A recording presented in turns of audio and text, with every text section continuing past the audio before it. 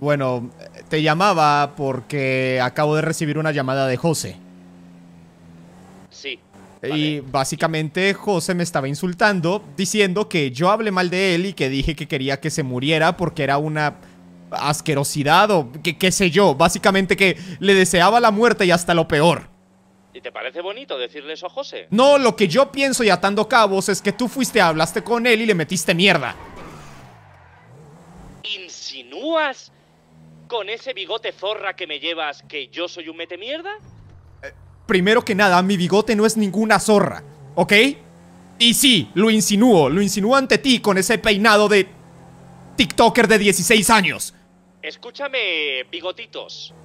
Ah. No me hagas perder el tiempo. Si tú hablas mal de la gente, asume las consecuencias luego. Y tú tal vez deberías de cerrar un poquito el pico de vez en cuando. Digo, a lo mejor. Tal vez deberías pasar ese bigote por mis huevos. ¿Qué te parece eso?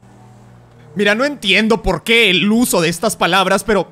eh, ¿Sabes qué? Eh, Chúpala, hablo yo con José. Chinga tu madre. No, chinga la tuya, gilipollas. ¡Imbécil!